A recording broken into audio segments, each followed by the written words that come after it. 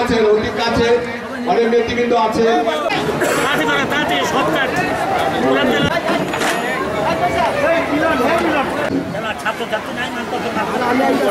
আমাদের মিষ্টি আলোর বেলায় আজ এখানের মতো তোমার সৌরভে আমরা মুগ্ধ এদেশের গণতান্ত্রিক সরকার প্রতিষ্ঠায়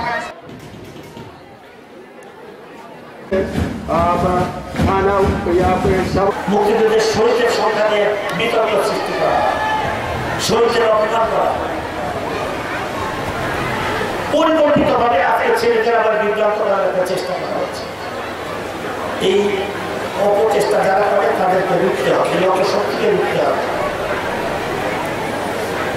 এই অপশক্তির বিরুদ্ধে যদি আমরা রুখে না দাঁড়াই, আমার ছেলেদের যদি সঠিক ইতিহাস না জানে আমার এই